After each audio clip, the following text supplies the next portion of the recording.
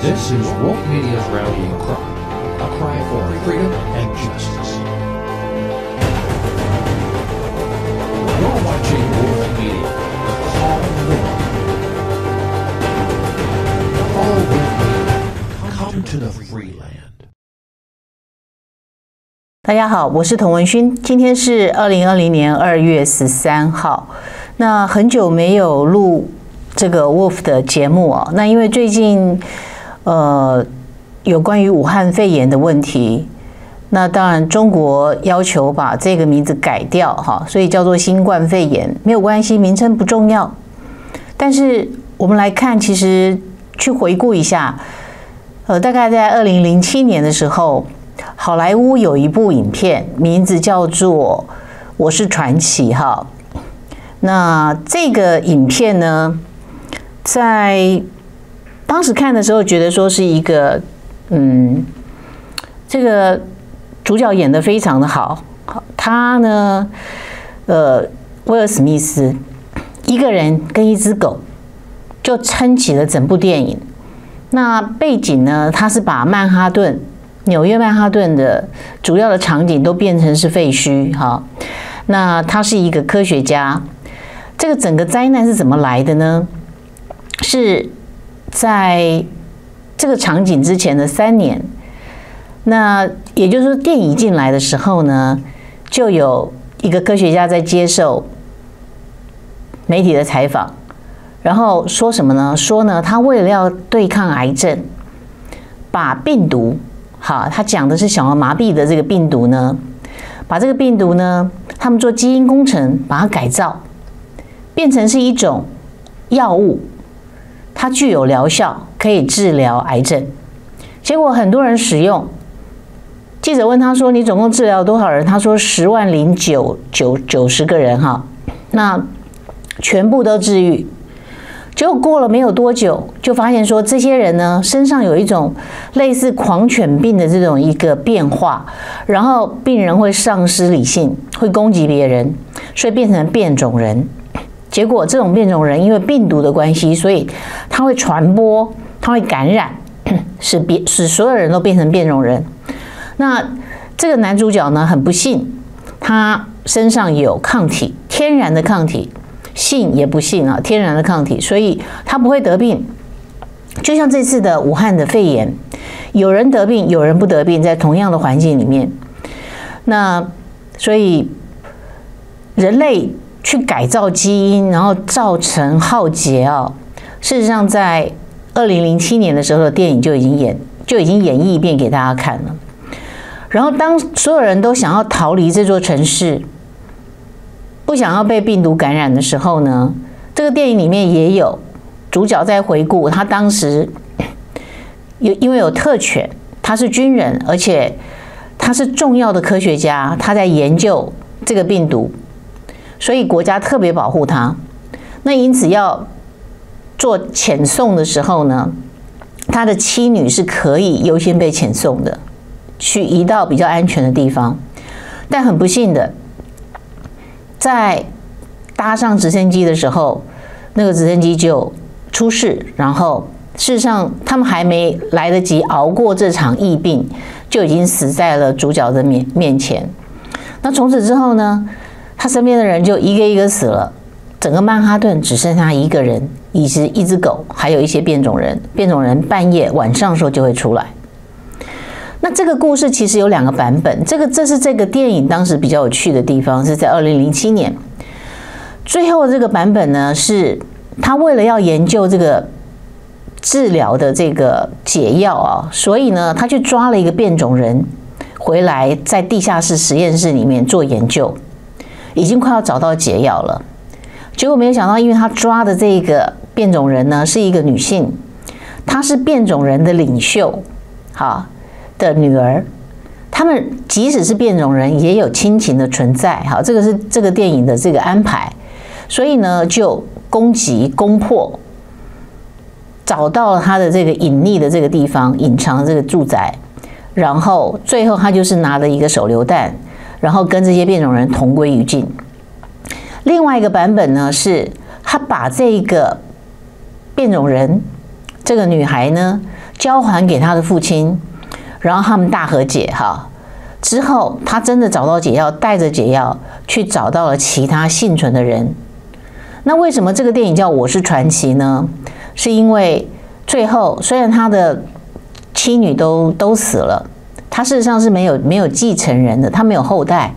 可是所有的人都把他视为未来的所有的人类的怎么样祖先？他们称为他们称他为我我们是他的 legacy 哈，就是说我们是他的继继承人，我们是他的后代。那所以这个电影的名字才才会叫做 I'm Legend 哈，就是他是传奇，我是传奇。那今天来看武汉肺炎，所以我们今天很多人怀疑啊，有看到很多的报道，怀疑说事实上这个病毒呢是被中国某一些人在做研究的时候呢，利用已经寄存的技术，用基因枪去做基因工程，在病毒里面植入了不同的基因，然后才会有这种这种特质啊，它在它在。传的、传递的、感染人群的这种过程中，从第一个人传染给第二个人的时候，毒性还很强，所以他马上会让宿主死亡。可是他当他传第三个人，一直人传人，一直传下去的时候，他的毒性显然越来越弱。但我们今天要说它毒性变弱，并不是说它就是像一般的流流行性感冒一样那么的弱，不是，它仍然是很有很强的致死率。因为一般的流感，它的致死率只有千分之三啊到五啊，可是今天我们看到了武汉肺炎，即使是官方的数字，它的致死率都是百分之二，这事实上上下有四十倍以上哈。所以即使今天流传到今天，它的致死率都非常的高，那只是说它不会马上让宿主死亡。那所以我们来看这个病毒。传到今天，是不是真的是实验室出来的？看起来有这个可能性，因为只有实验室出来的病毒才有这种特性，一开始很强，后来越来越弱，跟大自然中衍生出来的病毒的情况似乎不太一样。不过阴谋论是真的也好，假的也好，现在所有的人在面对这个病毒的时候。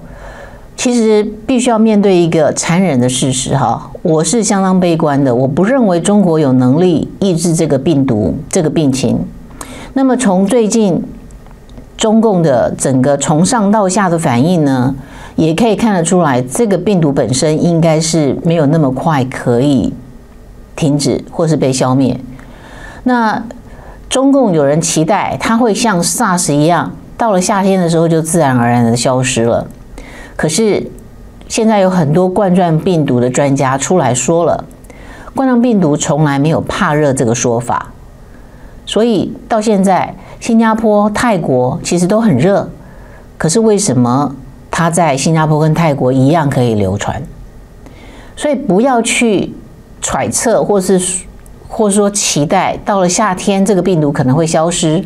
我们甚至要有一个觉悟，就是说这个病毒有可能变成在地球上一直存在的，然后不断的卷土重来，攻击人类的身体健康的这样一个病毒。所以我们现在能做的是什么？跟时间赛跑。跟时间赛跑的方法是什么呢？我们尽量防卫好自己，包括自己的自身的免疫力，整个环境，减少旅行，然后等待解药出来。等待解药出来之后，还可以大量的复制，然后等待疫苗出来，等到疫苗研究成功之后，还可以大量的复制，才来得及施打。可这个时间显然都会蛮漫长的，尤其是疫苗，它有一定的制造的时间，从研发到动物试验到人体试验，即使跳过动物试验直接进入人体试验一样，它疫苗必须要用。三代以上的在实验室里面的干净的鸡所产下来的蛋，然后去制造疫苗，它有一定的时间，它不是说我们今天说我要一百五十万支疫苗，就马上就弹指之间就做出来了。所以我们现在都在跟时间赛跑，哈，没有人说因为这个事情所以去唱衰中共或是唱衰中国，没有这没有这样的一个空间，因为所有人都受到了威胁。那台湾相对来说，对全世界来说，台湾因为我们的医疗跟保健，我们的水准是全世界第一。最近还有一个评比出来，所以即使罹患这个病，也没有必要倾家荡产，因为公费有健保会给付。然后我们的医疗水准是全世界第一，所以平均在每一个人身上的医疗的分配是足够的，足够保护台湾人自己。可是不代表我们防疫的漏洞如果打开的话，包括所有的台商如果都从中国回来，台湾的医疗体系有没有办法承受？同时承受这么多的，第一个要检疫，第二个要隔离，第三个一旦病发，我们必须要送进医院加护病房、隔离病房、负压隔离病房。台湾总共只有一千一百床，而平常这些。病床有没有在使用？有，因为到现在肺结核在台湾并没有根绝，所以有一些开放性肺结核的病人，事实上是需要使用到负压隔离病床的。那么目前努力的把这些病人能出院的出院，不要占床，可能还有一些排挤的效果，所以努力的空出来，大概还有六百多床，这根本无法应付像武汉的任何在湖北的任何一个小城镇的病况。台湾就已经，我们整个医疗体系的承载就已经爆了。所以今天在讲要不要把在中国的台商接回来台湾这个议题，台湾的政府不敢斩钉截铁的说 yes or no，他不敢讲，然后支支吾吾的在讲，在讲的人道哈，在防疫的问题上面讲人道其实是。模糊了问题的焦点，问题的焦点在防疫，而防疫的本身，防疫的本身最有效的方法似乎是围堵，这也是为什么中共一再采取围堵的手段。而目前我们看到今天的新闻，二月十三号的新闻非常重要的就是被围堵的是湖北有一个地方，哈叫做十堰市哈。那十堰的这个地方有一个城，就整个被封起来。总有多少居民呢？这些居民所有的人都必须要住在自己的房子里面，不准出来，由政府统一派给什么食水。好，这个问题就是，你平常如果有慢性病或是已经是癌症患者，正在医疗的人，也通通都会被终止他的这个医疗。那中国在打什么算盘？看起来中共是打算拿这个地方当做是一个样本。如果整个城在这种封锁的情况之下，十四天之后，他们确实诊疗出来的感染的数字有降低，那么我相信所有的中国的各大大小城镇可能都会仿效这样的一个方法。可是更严重的一点就是，习近平在中央在北京开始喊了。这个防疫的措施已经过当了，所以我们应该要开始拼经济，也就是说叫大家复工。封城之后再重新打开，问题可能会更严重。复工是复工不了的，只要有一个人感染，整个工厂的人都要被隔离。所以复工不了的情况之下，用这种十四天来，所有人都被封起来在自己的住家，我们心里有数。这个就是怎么样用隔离的方法在杀人，反正没有医疗嘛，医疗设施既然跟不上这个病毒的传递的传染的速度，就让所有人该死的就死在家里，死在家里只剩下收尸大队了。你只要把有限的防护衣给这些收尸大队的人，保护好中共维稳维护政权的几个要素：军队、武警。公安保护好这群人，继续为中共效劳，维持这个政权。然后呢，让他们自己的亲人、家人、朋友、亲戚关在楼道里，关在房子里，食水由公家来送，是不是都能够送得到？不知道。你敢不敢上街去抗争？那大概就是大刑伺候了，直接就地处决都不在话下。那么。我们可以想见的，这个疫情是习近平在连续三年以来遇到的第三只黑天鹅。第一只就是中美的经贸大战，第二只一九二零一九年的这个香港的反送中，到现在还没有停下来。到了二零二零年，谁都不知道。你今天回去看自己在二零一九年十二月的时候，你在脸书上，你在你的 Twitter，你在你所有的社群网站上面，你留了什么美好的相片，留了什么样的留言，转传了怎么样的新闻？你真的无法想象，在一月短短的几天之间，武汉封城到今天满一个月，刚刚满一个月，局势这样变化。然后今天整个湖北所公布的它的感染的人数突然跳了一万多人上来，死亡的人数呢也整个跳上来，突然增加了两百多人。那这个东西是突然湖北变诚实了，还是他们要换？他们要换这个书记，他们要换地方的首长，所以呢甩锅，把这个数字呢做大，把一些还没有确诊的案例。用临床的医学的方法，我们不要再去验了。我就看你有症状，我就当做你就是了，把这些数字全部拱上来。拱上来之后，第二天一定会下来嘛？因为把没有确诊的数字通通都弄上去了嘛，就会出现了一个大滑坡，所以就会大家都欢欣鼓舞。你看，现在已经出现拐点了，拐点是人为的，所以当你的人为的。